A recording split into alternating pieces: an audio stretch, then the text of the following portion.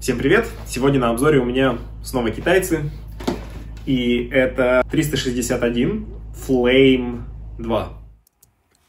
Вообще, друзья, я должен признаться, я немножко ленивая жопа, если честно. И этот обзор, который вы будете смотреть сейчас на Flame 2, я записывал еще летом 23 -го года, в конце лета. А сейчас весна, и весна 24 да. И тогда а, вы это увидите в видео. Я отзывался о них, скажем так, ну, нейтрально положительно. Так вот, за это время я их настолько полюбил и побегал там всякие половинки по асфальту и так далее. В общем, прям топовые кроссы, ну, хорошие достаточно. Поэтому я купил вторую пару. А, в общем, увидите, сделал специальную вставочку еще про новые впечатления. В общем, тапки неплохие. Вообще Flame 2 достаточно странная моделька, потому что, во-первых, про нее нигде нет практически никакой информации. Даже на официальном сайте, по-моему, ничего нормально про нее не прочитать. Она практически нигде не продается. То есть на рынке Европы, США нету, соответственно, нету обзоров про эту модель. Ее брать, ну, практически вслепую приходится, да, и пробовать на себе. Какие-то единичные прям обзорчики там у тайландцев проскакивают, да, потому что как будто бы вот для них их выпустили, и там они их и обозревают, у китайцев еще что-то есть. Но ничего не понятно, никакие субтитры на русский, на английский вам никто не переведет. Поэтому проблематично брать такие кроссовки и пробовать на себе, но я рискнул. Слава богу, они стоили недорого. Нашел я их, по-моему, на Ламоде, тоже купил за собственные деньги, никто мне их просто так не прислал. Обошлись они мне что-то в районе там 7 э, тысяч рублей. И потом, уже случайно, я посмотрел, что они продаются еще и на Озоне. На Озоне их можно найти там в районе 6 тысяч рублей. И, ну, как будто бы это что-то такое, не знаю, поддельное, ну, подозрительное. Я думал, вдруг они что-то такое придумали, дешевое, не настоящее, э, взяли бренд 361, который на самом деле достаточно популярный э, и в Китае, и у нас тоже становится, да, и сделали какую-то отдельную модельку для него. Но нет, я думаю, что все-таки это локальная, не фейковая настоящая модель, просто, ну, характеристики у нее не самые, скажем так, топовые, и сейчас мы про это проговорим. Во-первых, полноразмерная карбоновая пластина, ее видно здесь. У 361 она называется Quickbone, пена, которая, собственно, тоже из пебы, да, ну, это не обычная эвро, это более упругая, более легкая пена, основанная на материале пеба. Видно, что они достаточно высокие, да, то есть э, кажется, что амортизация должна быть достаточно тоже прям приличной, да, и мягкой, так скажем. Перепад, опять же, нигде не указан, у китайцев тяжело искать какую-то информацию, практически ничего они нигде, опять же, не указывают, но видно, что здесь есть небольшой перепадик, э, думаю, что в районе примерно 6-7 миллиметров а, от пятки к носку нету никакого прям вот э, выраженного переката, я бы сказал. Он визуально, конечно же, есть и ощущается совсем немножко, про ощущения мы поговорим чуть позже, да, но вот э, визуально он, опять же, совершенно не агрессивный и, я бы сказал, практически этот перекат не ощущается. Э, верх очень легкий, он сделан из чего-то такого вот, э, опять же, полиуретанового. Это даже не сетка, да, я не могу назвать это сеткой, это какая-то как будто толстая ну, относительно толстая пленочка, хотя, опять же, она прозрачная, и видно вот э, все, что происходит внутри.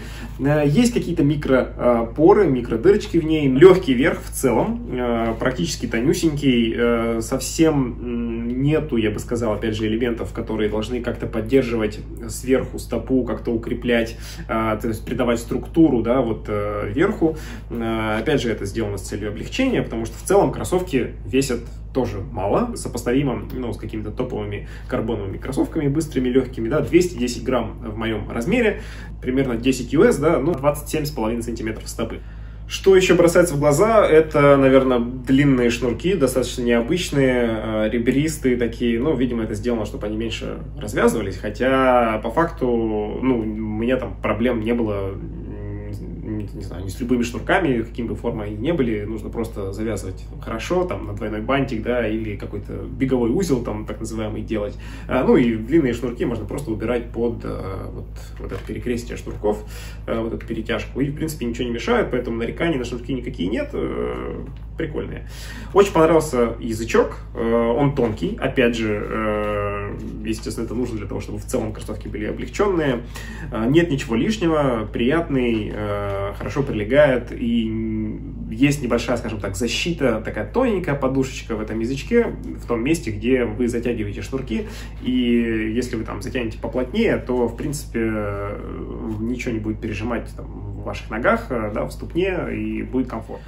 Для чего покупал? Собственно, тоже для каких-то быстрых работ, э, для стартов, потому что у меня не было до вот этих китайцев каких-то карбоновых кроссовок. Единственные около карбоновые или там предтоповые, скажем так, кроссовки, которые у меня были, э, и есть это Socony Endorphin Speed 2, э, которые я тоже купил сравнительно недавно, раскошелился на них, скажем так, потому что, честно, душу джаба покупать какие-нибудь Vaporfly за 35 там, тысяч рублей или что-то там из Пумы в районе двадцатки э, карбоновая, да, ну вот таковы реалии сейчас, тем не менее хочется найти что-то карбоновое, быстрое, легкое, но подешевле, и китайцы эту нишу вроде как занимают, э, почему бы нет, особенно за вот э, те деньги, что я их нашел, и что по факту я получил? Вначале я протестил их э, на тренировке, на интервальных работах и попробовал на стадионе, да, с резиновым покрытием. Так вот, что первое мне не понравилось, это то, что они чересчур мягкие. Да, несмотря на то, что на стадионе есть еще и дополнительно вот это резиновое покрытие, которое добавляет, естественно, мягкости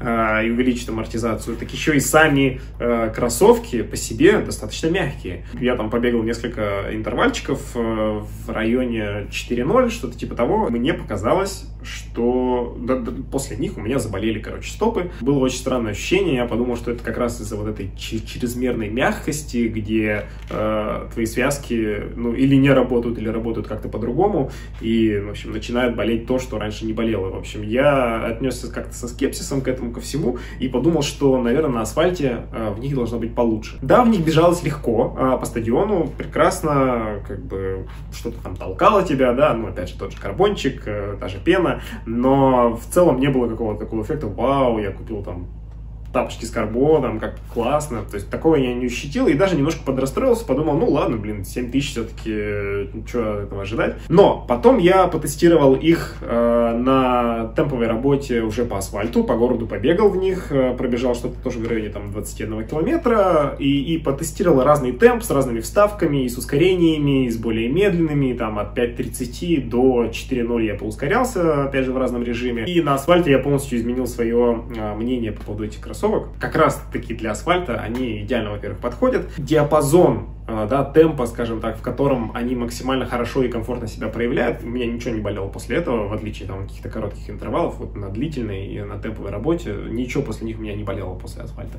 Так вот, э, тот диапазон темпа, в котором э, вам, скажем так, или мне, ну, я же говорю про себя прежде всего, да, диапазон темпа, да, в котором у них максимально комфортно, это что-то типа от 4.30, наверное, ну ладно, давайте так, 4.15 может быть край, 4.15 и медленнее, то есть там в район 6 и, наверное, даже 6.30 и медленнее в них будет комфортно. Почему? Потому что, как оказалось, вот та мягкость, которую я почувствовал на стадионе, на резиновой дорожке, она сохранилась и здесь. Да, ну, не так стало как бы мягко, потому что на асфальте, ну, все-таки это асфальт. Стало более упруго, более комфортно в целом, но мягкость и амортизация вот эта большая никуда не ушла. Пятка здесь, ну, прям, я бы сказал, чересчур мягкая. А, для тех, кто бегает и ставит там на пятку, вы прям почувствуете это, как насколько мягкая, легкая а, пятка, как быстро она прожимается двигаться. И я бы сказал, что это не очень хорошо. Такое ощущение, что если вот прям бежать на пятку, вся энергия гасится здесь же. Да, прекрасно, мягко, приятно на пятку приземляться, но как будто бы э, вы встречаете здесь некое сопротивление, энергия гасится, и потом тяжелее перекатываться и бежать дальше. Но это именно для тех, кто вот прям рассчитывает на то, что ему будет комфортно иметь вот этот перекат с пятки на носок, там ускоряться э, благодаря этому и так далее. То есть здесь эти кроссовки вообще не про перекат.